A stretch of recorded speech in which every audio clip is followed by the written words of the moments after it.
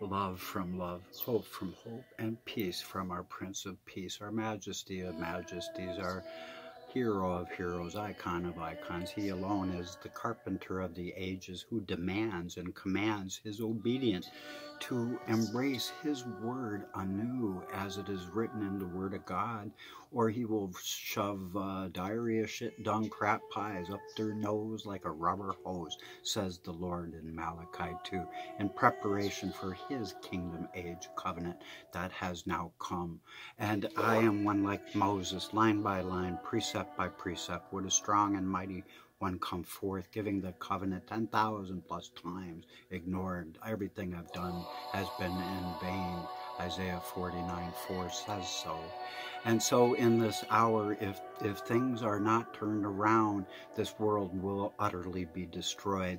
There will be no birds, no fish, no uh, uh, no mankind left. Zephaniah 1 1, the earth will be in pieces, never to rise again. Isaiah 24.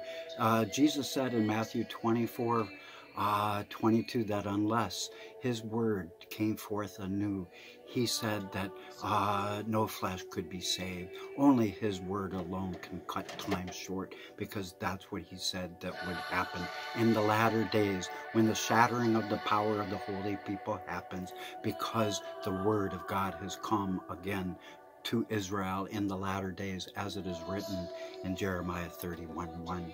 And now they are Chrislam, Isaiah 62 2, their brand new name, because they have inherited all mankind.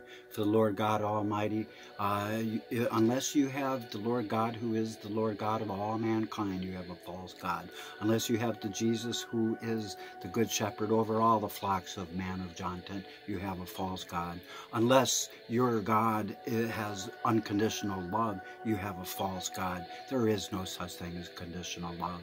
And if your God is a respecter of men, likes you best, you have a false God. So it's time to get away from religion because when his covenant comes, him saying, I'm your God, you are my people, I forgive your iniquity, we'll never remember it again. Sending Satan to the pit for a thousand years, Daniel 12, 1. Then he says to all people, I'll write my law and my love on your hearts. Beyond that, no one will even need to be taught of me anymore, says the Lord God. For once you know He's unconditional love, there is nothing. Because unless love is loyal and faithful and committed and devoted and adores, then it's not even love at all. This is the mystery that is now revealed and ripped off all the nations of the earth. From this latter day crystal mountain reflecting the sapphire sea. And it's time that our voices uh, replay the soundtrack of the summer of the Lord's happiest uh, floodgate opening to pour out his spirit of love upon all people.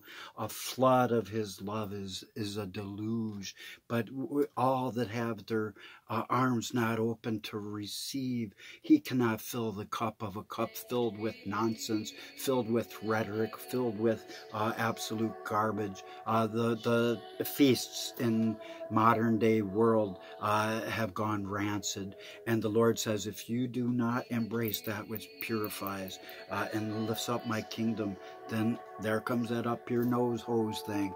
And that's not very nice because the Lord is saying, I am your God. You are my people. I forgive you and I will never remember it again who's going to tell me that that's not what will prepare his name because it is addressed correctly to Israel and all mankind. Because the truth is, 2,000 years ago, Christians switched things around. They grabbed, uh, stole the Hebrew books, and then they stole their identity and started teaching themselves that we are Israel and all the prophecy was written for us. I'm sorry, there, uh, that's not what the Bible says. The Bible says that in the latter days, the Lord God would be the Lord God of Israel and all families of Israel and all mankind. And all mankind, Jeremiah 32, 27.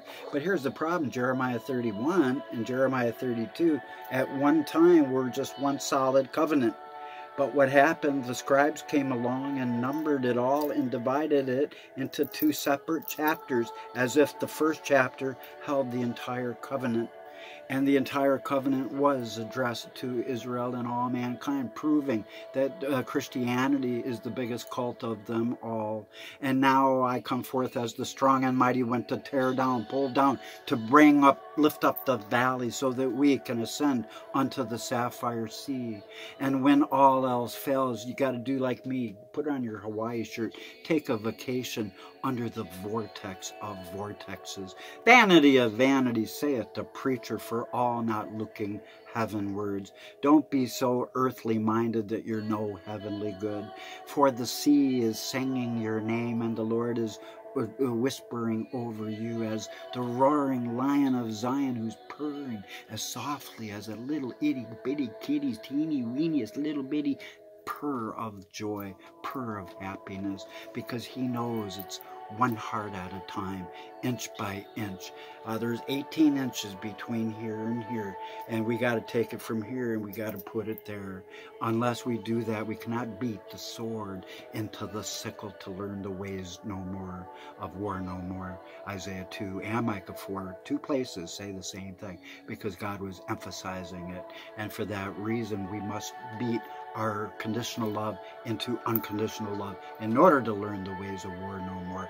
And therefore, upon this latter day mountain, people will beat the sword into the sickle because wide is the way unto hell, and it's paved with our conditional love as we practice letting it wax cold, practice becoming desensitized, practice uh, every day rationalizing, justifying why it's okay not to love, why it's okay not to forgive, why it's okay not to be nice to people, why it's okay to be a living grump, why it's okay to be critical and judgmental, why it's okay to, to be talking condescendingly to other people that don't believe like you, and you think that you're a loving person. Hypocrites, hypocrites, hypocrites, saith Daniel of Windsor, Ontario. I am the one from the north.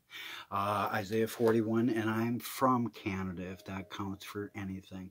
I am the alcoholic Shiloh, one whose eyes are red and dull of wine, whose uh, teeth are milky white, because they're fake and I am the alcoholic of Zechariah 3, standing there with barf all over himself before the Lord, the writer of uh, the flying scroll, Zechariah 5. And God lit a lamp for me, never was plugged in.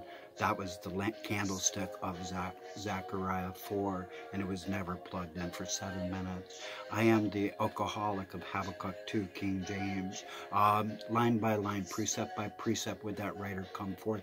And the vision was written for the appointed time at the end and written plainly on the tablets, so all those reading it may run at God's command. I command you in the name of love to leave all the terrors behind. The wheat must come with me, for our Lord is now manifested his uh, prophecy of Amos 7. For in giving his covenant to all mankind, proving that he has loved us all exactly equally, what has happened now? We have proven that we have nothing but desolate heritages, Isaiah 49, 8. And it is my job to reassign that. I am the spiritual leader of this whole damn world, and nobody will give me the time of day. That's okay, because as we're going down in the ship, since I can't possibly try to turn back the battle at the gates of hell because no one's paying any attention, I only preach to white noise only. If I'm lucky if one video gets 10 views. So the truth is, all of you guys are stupid and insane because I'm preaching everything that has been foretold, the climax of all the prophets. And the stupid thing is because Peter said that, the, remember that guy that uh, uh, Moses was talking about in Deuteronomy 18 18, one like Moses that would come, a kingdom age coming, giver of the law of love, uh, one who will lead a new exodus of the wheat away from the tares, and finally, uh, one who would accuse the world of all having a false, unloving God. And so it's time that we get with the right program. For if we don't beat our swords into the sickle, this earth will be absolutely toast because the this is the age of the days of Noah, exactly like the days of Noah. And Sir uh, um, Isaac Newton foretold Elijah I am the latter day Daniel of Daniel 12 13 who has embraced that destiny. And I tell you, truly, truly, the original Elijah is still coming. He is one of the two witnesses, and he will be ministering death, not love. Unless the hearts of the fathers turn to the children, children to the fathers, this world is sideways. It is literally going to get a new ripped one. These are the days of Daniel 7 5. Don't you think Elijah would be in the world when World War III is happening? Uh, the king of the north has invaded the king of the south, Daniel 11. That is a latter day prophecy. It says so in the Bible. Everybody's ignoring me. I've been preaching this for months and months. And the truth is that uh, Daniel 7 5 is coming to pass too. Uh, the king, uh, uh, the king of the north is the great uh, bear the Soviet bear who's come out of the sea, and in its three fangs, he has chew been chewing on Crimea, Donetsk, and Luhansk, and now he has uh, annexed them into Russia now, so that if Russia gets attacked now, then he has the right to drop nuclear bombs to bring forth the days of Zechariah, where eyes will consume away in the socket, tongues consume away in the mouth, and where flesh will consume away as people stand. That is thermonuclear war.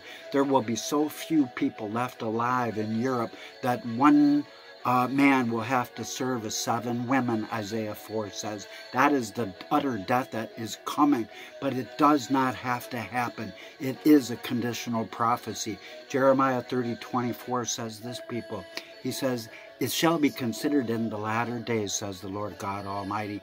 He says, I, the Lord, will return my fierce, terrifying wrath if my people of love will look to the crystal sea of the living waters of the uh, crystalline bluest ocean of his love that is bottomless. Uh, if people will do that and, and start uh, treating people nicer, this world can be salvaged and pulled from the edge of our total oblivion. So in this hour, it's time to realize that the ocean waves need to take away all of our pain back to its deepest blue because it's the ocean of God's love. And as we accept His love, increasingly our pain just automatically will always fade away. And if you want serenity, it is only found in the soothing sounds of that sapphire sea on high. And let it comfort you like a warm blanket in this hour of love's greatest power. So look at the sky. Does it does it sapphire hue dim? Uh, do you see it when you take a single breath? No. Are the stars drawn closer when you weep? No. The sky cannot be diminished. So, thus is it with the Lord's Spirit of love. It is love that has no beginning and no end, as vast as the universe, endless thereof. I tell you, in the beginning was not the darkness, it was the light before the darkness. When Moses described the light, he was only talking about the light of our sun. And when all else fails, it's time to smile a lot because our Lord is sitting on the, the great white throne reflecting the sapphire sea. And because of that, hues of emerald, uh, green, and blues are coming forth. And in this hour, I'm going to show you what he's doing now. The Lord is good, and I praise him endlessly. And as I stand up, oh dear, not good, not good. I'm to break my little light. That would not be nice because I like my little light. Does anybody up there like my little light?